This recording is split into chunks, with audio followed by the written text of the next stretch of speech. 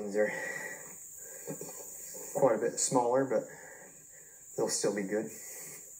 We're gonna head to the porch and have a feast. Oh yeah, Titus. Smells great. Yeah. I'm much healthier around you, to be honest. When I'm on the road shooting these videos, sometimes it's hard to get really good quality food when you're in the middle of nowhere.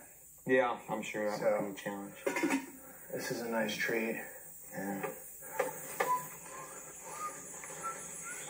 Wow, Titus, the creek has really dried up, huh? It has, yeah. We've had less than average rainfall. There's still some nice pools of water, but uh, quite a bit lower. Our Father in heaven, thank you so much for bringing Peter back here. Thank you for the peace and the quiet that we have here. And Father, thank you for the food. We just wanted to say thank you for it. We ask that you would bless it and give us strength to serve you. We ask that you would guide us and thank you. In Jesus' name we pray. Amen. Amen. All right.